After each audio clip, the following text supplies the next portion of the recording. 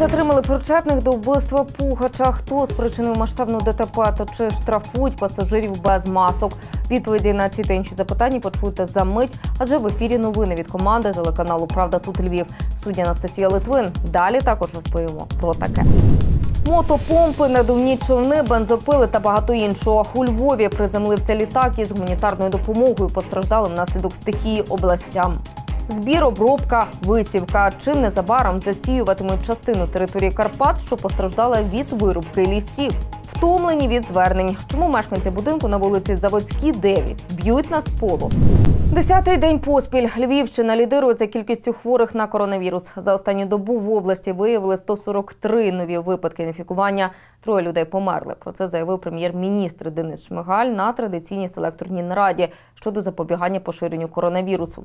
Тож уряд готує лікарні до другої хвилі епідемії. За словами урядовців, зараз наявні ліжка для майже 30 тисяч хворих, апаратів ШВЛ використовується небагато. Вони є в достатній кількості. Щодо Львівщини, за вчорашню добу лабораторні центри провели 1098 ПЛР-тестів. З інформацією мерії, у восьмій міській лікарні наразі перебуває 90 пацієнтів, у першій лікарні 90, у лікарні швидкої медичної допомоги 54 хворих. Загалом за період карантину COVID-19 виявили майже 5,5 тисяч осіб, 146 людей померли, 747 пацієнтів одужало. Гучне вбивство. Поліція затримала причетних до розбійного нападу на будинок колишнього сільського голови Миклашева.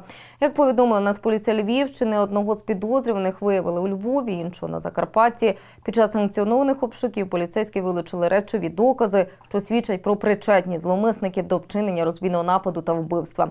Також правоохоронці перевіряють причетність затриманих до інших кримінальних правопорушень. Нагадаю, вночі, 21 червня, у помешкання, де проживав Михайло Пугач із дружиною, увірвались троє невідомих у масках. Вони зв'язали, жорстоко побили господарів, забрали гроші та ювелірні вироби, після чого втекли. Від отриманих травм чоловік помер на місці. Його дружина отримала тілесні ушкодження. Зазначу, Михайло Пугач був сільським головою села Миклашів впродовж 15 років. У 2013-му його судили за хабарництво. Пустомитівський райсуд визнав, що він, перебуваючи на посаді, вимагав та отримав хабар за виділення землі під індивідуальне будівництво. Йому присудили два роки іспитового терміну. Завдяки злагодженій та наполегливій роботі оперативників, слідчих, а також співробітників інших служб поліції Львівщини та управління стратегічних розслідувань були встановлені особи зловмисників. За фактом умисного вбивства та розбою триває досудове розслідування. Максимальне покарання передбачене санкціями статей довічне ув'язнення.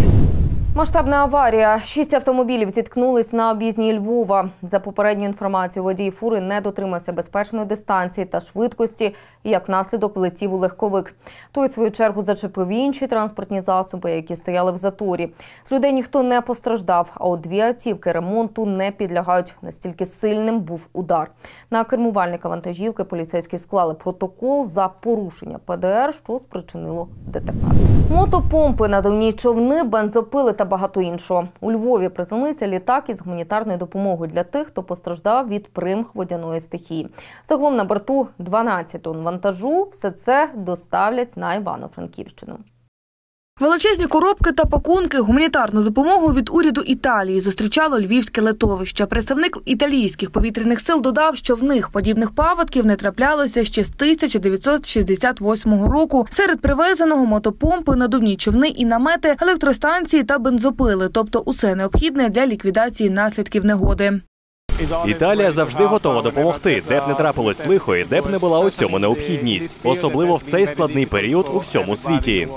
Усе розвантажують і погрузять у фуру, і вже до вечора аварійно-рятувальне обладнання дійде до надзвичайників на Івано-Франківщину, які боролися минулого тижня із примхами стихії. Ще один аналогічний гуманітарний вантаж отримали ввечері. Додамо, що не лише уряд Італії відгукнувся на звернення посольства України в Римі. Минулого тижня допомогу отримали від Молдови і скерували до Чернівецької області. Найближчим часом підмогу очікують ще від Швеції. Зараз задіяні всі сили і, засоби е, наших підрозділів. Тобто е, і задіяні додаткові сили. В зв'язку з тим, що додаткові сили їх необхідно забезпечити. Навіть ті, хто е, крім тих, хто на чергуванні, працюють люди, які повинні відпочивати перша, друга і третя зміна. І для того, щоб скоріше ліквідувати цю надзвичайну ситуацію, нам потрібно додаткове обладнання. Минулотижневі паводки наробили чимало лиха на Івано-Франківщині. На території області підтоплено понад 260 населених пунктів, задіяні особовий склад управління ДСНС Івано-Франківській області, зведені загони сусідніх підрозділів ДСНС. Е, Сили і засоби під час ліквідації надзвичайної ситуації ніколи не буває забагато. Адже е, сьогоднішні умови і ті виклики, які нам дають природа, дає природа, потребує з кожним разом все більше і більше е, ресурсів.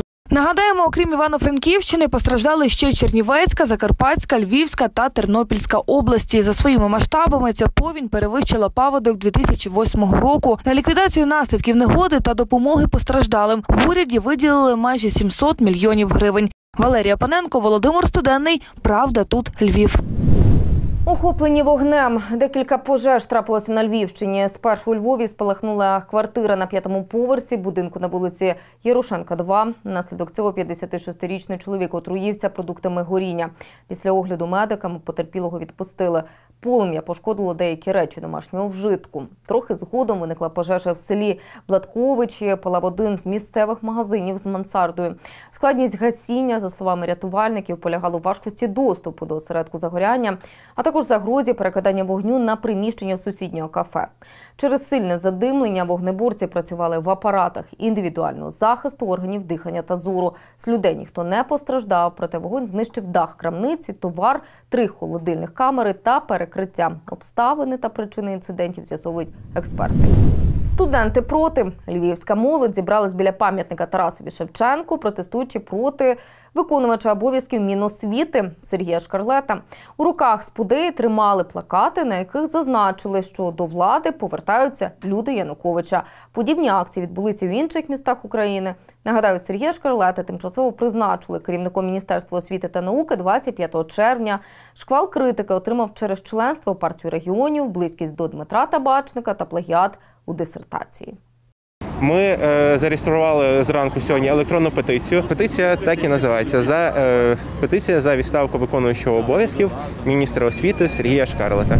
Перерахунок соцвиплат, відновлення роботи кінотеатрів, нові штрафи за водіння в нетверезому стані, відкоригована ціна на газ та зміна виборчих адрес для переселенців. Ще не повний перелік того, що чекає на українців вже з 1 липня. Більше в своєму огляді розповість Валерія Паненко. З 1 липня в Україні збільшується розмір прожиткового мінімуму. Тепер він становитиме 2118 гривень. Не стоятимуть на місці й інші соціальні виплати. Надбавку у розмірі до 100 гривень скерують тим, хто отримує фінансову допомогу на дітей. Зростає максимальна допомога по безробіттю. Тепер її видаватимуть у розмірі 8788 гривень. А от мінімальна допомога по безробіттю залишиться незмінною, адже під час карантину цю соціальну виплату і так збільшили до тисячі гривень. Часом пенсіонерам додадуть 74 гривні. Тепер мінімальна пенсія стартуватиме від 1712 гривень. Щомісячні виплати перерахують для тих, хто має більше необхідного стажу для отримання пенсії. Жінки та чоловіки, які мають за плечима більше ніж 30 і 35 років відповідно офіційного працевлаштування, отримують 1% надбавки за кожен додатковий рік.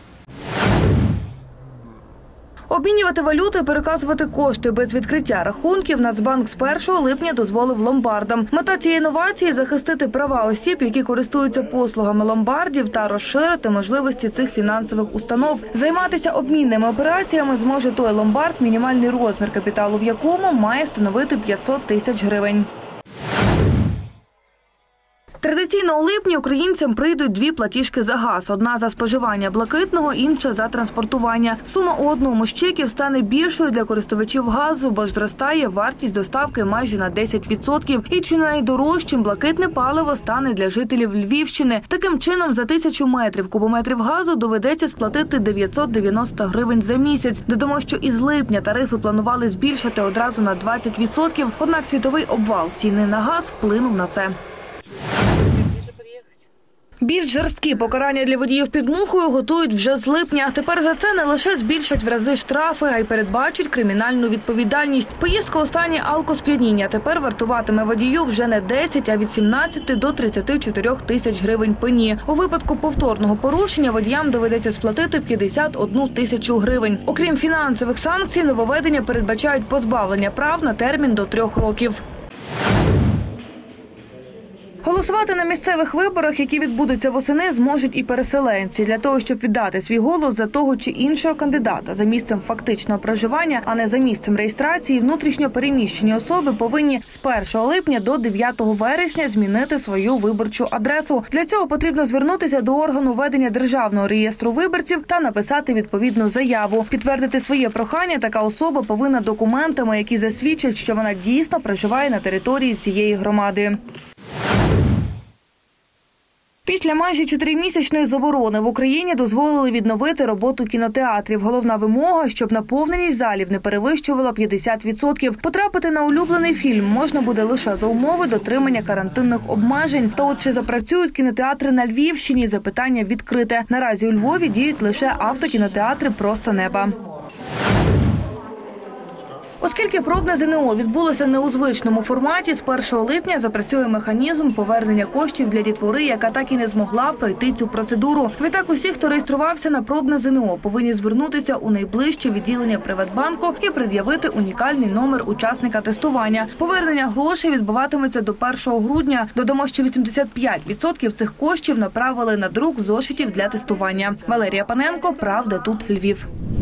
Гральний бізнес збагатить олігархів. Про це заявив Олег Синютка, народний депутат України від Європейської солідарності. Політик вважає, що автори законопроекту про гральний бізнес замість комісії намагаються створити маленький корупційний орган, який видаватиме ліцензії і перерозподілятиме фінансові потоки.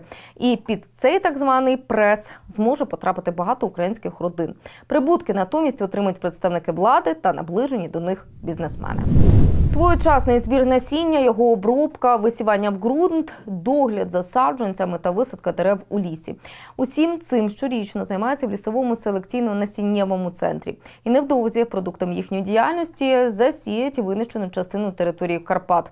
Про деталі усіх процесів дізнаєтесь з наступного сюжету. Ось тут вирощують майбутній ліс, місяці кропіткої роботи і як результат тисячі нових дерев. Та от це лише на перший погляд, усе доволі просто. А насправді чимало зусиль потрібно навіть для вибору якісного насіння, яке видобувають ось з цих шишок. Це сушильна камера. Тут е, в ящики закладається шишка, температуру наставляємо, яка потрібна для кожної породи. Е, Вона там трошки відрізняється, і е, процес сушіння триває 15-20 годин. За цей час шишка встигає відкритися, після чого її поміщають в спеціальний барабан, де вибивають насіння, яке спочатку очищають та обробляють, а тоді вже зернятка висаджують у так звані касети.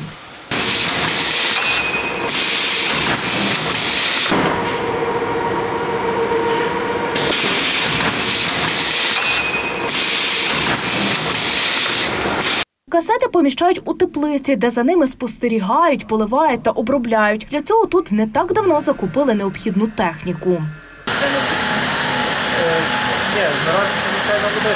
Певний час майбутні саджанці перебувають тут у теплиці. Потім їх переносять на поля для дорощування.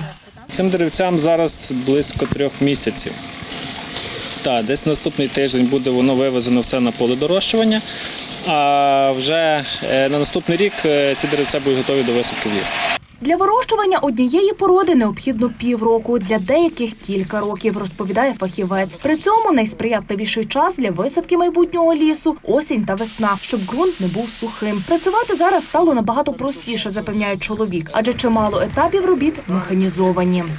Порівняно, як ми колись робили, це все наповнення було вручну. Тобто це мішки засипалися шуфлями, е, роз, той торф розсипався по тих всіх лунках, і також посів вручну виходив кожне зернятко в окрему лунку. Відбувалося. Це ну по часу це набагато було е, довше. Посів. Якщо ми зараз, е, щоб одну теплицю засіяти, нам вистачає близько тижня, то колись сім чоловік це робили майже місяць. Загалом в насіннєвому центрі вирощують близько 10 різних порід дерев, які уже згодом ростимуть у лісах Львівщини та не тільки. Наразі за рік тут вирощують близько півтора мільйона сіянців. Та й це не усі можливості селекційно-насіннєвого центру, каже чоловік. Загалом, щоб дерево досягло зрілості, необхідно близько сотні років. 50 років це той мінімум, коли молоді насадження е, настільки окріпнуть, що вони будуть дійсно виконувати в повному в повній мірі е, свою лісозахисну функцію, е, ґрунтозберігаючу функцію. Це самий самий мінімум.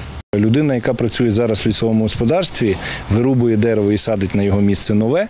Вона знає, що це нове дерево досягне такого от стану, як зараз, через приблизно 100 років, в залежності від породи. Карпатах в основному повинні рости лісоутворюючі породи дерев. До прикладу, ялиця, бук та ялина. До того ж, зі слів фахівця, неправильне ведення господарства в певній мірі могло стати причиною нещодавніх повеней в західних областях. Накладаються ще певні нюанси рельєфу, е, власне, складу ґрунтів, ухилів і так далі. Але основна, от 40, 40% причин от таких от критичних наслідків це е, той стан лісів, який знаходиться на даній території. Тож, вирубуючи ліс, слід пам'ятати, що виростити його надзвичайно складно та довго. А кожне посаджене сьогодні дерево це спадок для нащадків. Марічка Драбич, Любомир Чайка, Юрій Яворський. Правда, тут Львів. Стоячи та без масок, поліція склала акти на порушення карантину в громадському транспорті. З огляду на зростання кількості інфікованих у Львові створили мобільні групи, які перевіряють дотримання карантинних заходів у місті.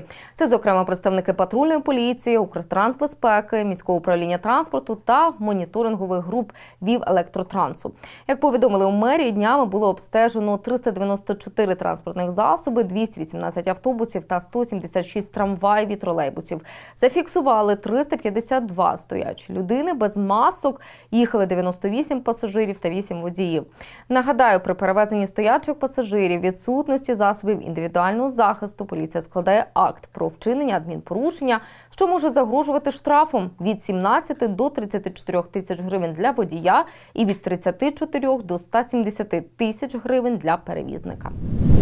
Пошарпані стіни, відкриті електрощитки та аварійний балкон. Така ситуація у під'їзді триповерхового будинку на вулиці Заводській, 9. Мешканці вже неодноразово звертались до комунальників і міської влади, щоб вирішити ці проблеми, але змін так і не дочекались. Подробиці дізнаєтесь, переглянувши наш наступний сюжет. Втомлені від звернень. Мешканці будинку на вулиці Заводській, 9 нарікають на жахливий стан свого під'їзду. Кажуть, зверталися вже в усі існуючі інстанції. Проте це майже нічого не змінило, і люди хвилюються, що частина стінки незабаром може впасти їм на голову. Приходять, дивляться, подивляться, подивляться, підуть. І тільки на всього я порозказую їм, покажу, що і як. Ну тут що, тече кругом, е, кругом вода стоїть, е, валиться стіна, провода всі наверху.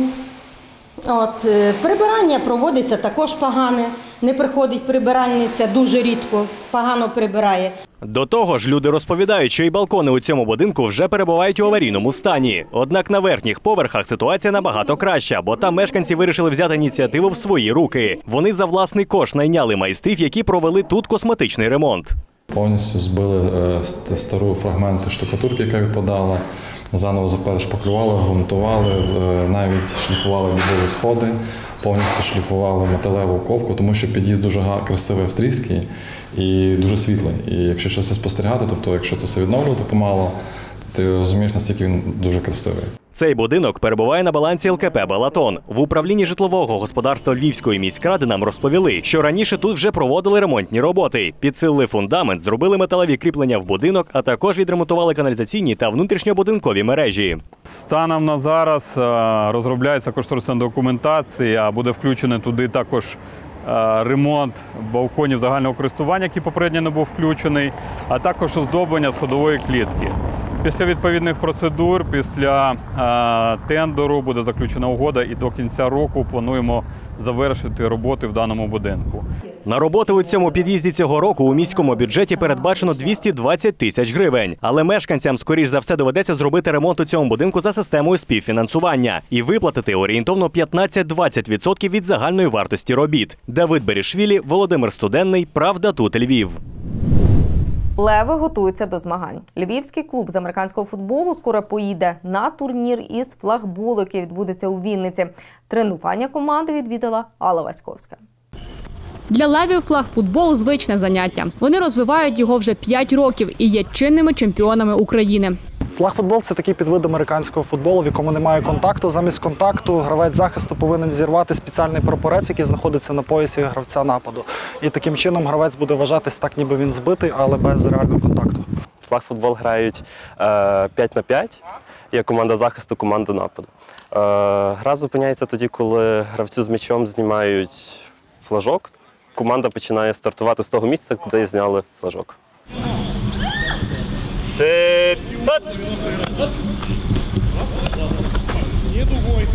Львівські леви відкриті для всіх охочих спробувати себе у американському футболі і заспокоюють відразу в бій з екіпіруванням їх ніхто пускати не буде. Для цього і є флагфутбол. Е, Дуже тішить, що багато новеньких прийшло хлопців, які не бояться, особливо молодших. Тобто для них флаг-футбол це взагалі м, такий певний етап перед американським футболом. Тому що як я прийшов в команду, мені дали зразу екіпірування, сказали шолом, каркас, сказали, давай, поїхали на гру першу. Ось. А починаючи з флаг-футболу, можна дуже класно навчитися, влитися в команду. Ми також їздимо на різноманітні змагання за кордон по флагфутболу, бо це хороший досвід для наших молодих гравців відчути дух змагань, і не всі можуть одразу грати в повному екіпіруванні. Із новачками зараз займається Джош Лансфорд. Це тренер, з якого 6 років тому розпочинався американський футбол для левів. Хлопці кажуть, без нього нічого б не вийшло. Після трьох чудових сезонів з левами ми з дружиною повернулись додому в Америку на два роки. Зараз ми знову тут, і я знову треную. Ми з левами сім'я. Добре знаємо один одного, і хоч мене давно не було в Україні, хлопці покликали мене знову стати їхнім тренером. Я без роздумів погодився. Щасливий бути в сім'ї левів знову. Під час карантину леви не тренувались. Після послаблень почали займатися саме флагфутболом. Зараз в карантин він нам дуже пригодився для підтримки фізичної форми, коли немає можливості повноцінно зібрати всю команду для тренувань в екіпіруванні. Е, На тренуваннях в основному зосереджуємося на фізичній підготовці і, скажімо так, на відпрацюванні наших ігрових схем, щоб люди мали базове поняття, розуміння, як взагалі працює комбінація, формація в нашому виді спорту.